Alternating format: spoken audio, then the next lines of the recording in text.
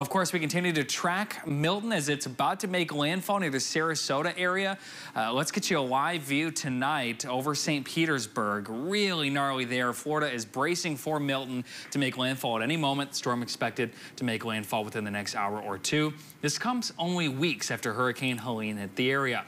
With the active hurricane season, one of our viewers, Alexi, is wondering why can't a hurricane form on Lake Michigan? That's the question Chief Meteorologist Ellen Bacca is answering in this week's Ask Ellen.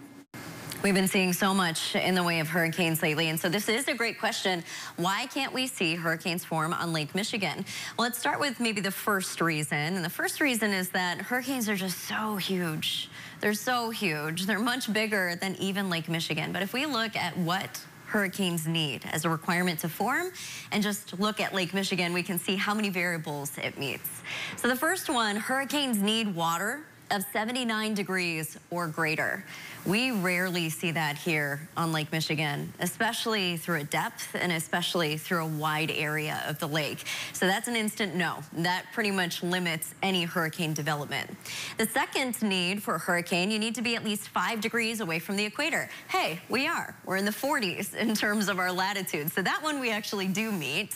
The third, we need a saturated air mass. So just a ton of water. And we really just don't have that here. Not over, not just over Lake Michigan, but over Michigan in general. Frequently, we have a lot of dry air. Little to no wind, that's another requirement. And it's pretty breezy here in the mid-latitudes. Even if it's calm at the surface for a day, usually picks up in intensity. So that limits and kills a lot of hurricane development. And that would definitely kill any development that tried over Lake Michigan. We lastly need a tropical wave. And of course, we don't have that. We don't live in the tropics. Now, something that looks like a hurricane but is not a hurricane, something called a mesolow. We can actually see that over Lake Michigan frequently, especially in the cool season. So if we spot one of these mini hurricanes with a little burst of winds, we'll be the first to let you know.